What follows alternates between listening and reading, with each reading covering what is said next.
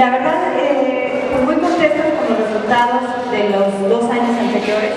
La verdad creo que eh, se ha dignificado también eh, las danzas de batrachines y por otro lado hemos dado a conocer al resto de la sociedad la importancia, el porqué, que comprendan un poquito más qué significa la danza del batrachín. Entonces pues hoy estamos aquí todos reunidos y con los matachines, aquí en un grupo de matachines, estos niños maravillosos también que nos han acompañado ya por tres años, están grandes de cuando los vi el primer año.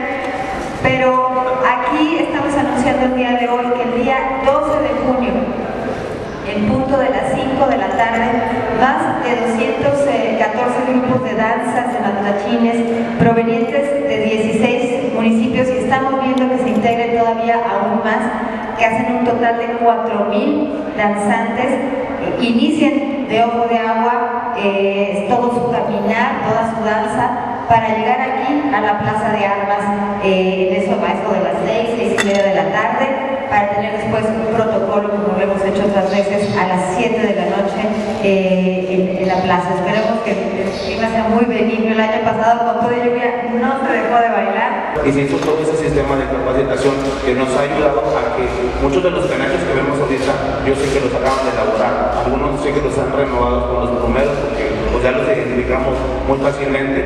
Eh, para, para, esta capacidad este, vamos a esperar la presencia, yo creo que, yo creo que fácil, fácil estaríamos pensando en mil personas que vienen del estado. Eh, ahorita que hemos estado haciendo giras en Coahuila, los alcaldes ah, ya hay mucho interés. ¿Por qué? Porque los grupos ya están muy organizados. Eh, para nosotros ese día es muy importante porque eh, todas las danzas nos preparamos con vestuario, todo traemos nuevo nuestro homenaje que hacemos nosotros como danzantes es del Museo de las Aves a San Juan. Eso es lo más bonito, es, es mucha emoción hacer el homenaje en la mera puerta de San Juan. Entonces sí, ahí los esperamos a todos.